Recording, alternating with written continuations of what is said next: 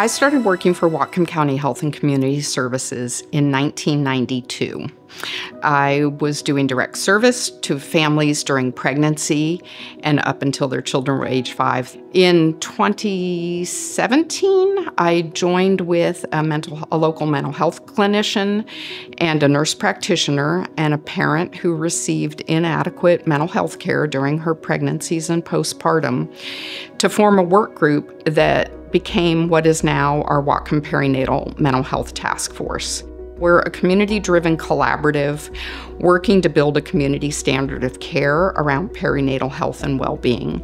And we're working to build perinatal health and well being by building services and supports and resources and easy to follow pathways.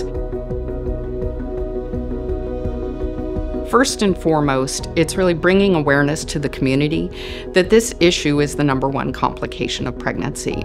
In a really tender time where parents are overwhelmed with the feelings that they have and often don't feel equipped and they can feel alone, like they're the only ones who are experiencing this. We're reducing the stigma and social isolation around asking for and receiving help and really understand they are not alone and that this is a hard job being a parent and that they can feel better with all kinds of support.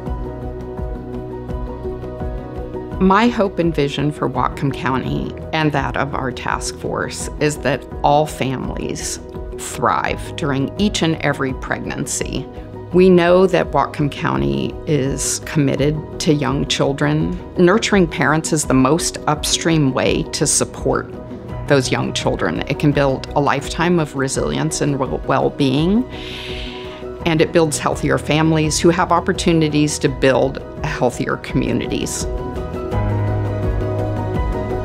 To me, peace building means starting with empathetic listening with open curiosity. When you're listening deeply to someone, they're offering you a gift of their story.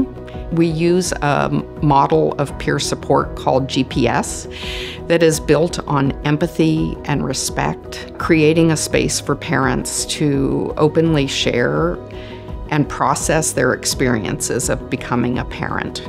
Peace building can start really needs to start with that intentional listening to someone's story without judgment.